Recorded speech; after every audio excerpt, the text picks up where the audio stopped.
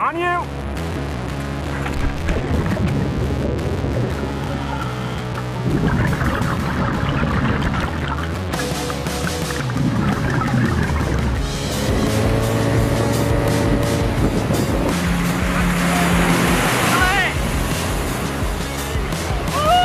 Here at the Pacific Missile Range facility, we're doing uh, inspections, preventative maintenance, and minor repairs on PMRF's massive network of underwater communications cables and hydrophones.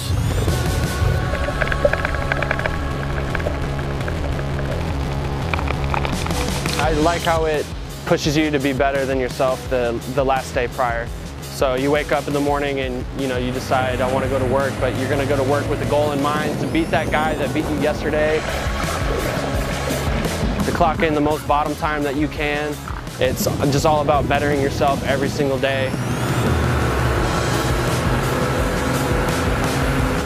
The 7th Dive Detachment is the only Army dive detachment in the Pacific AOR, so we're a theater level asset.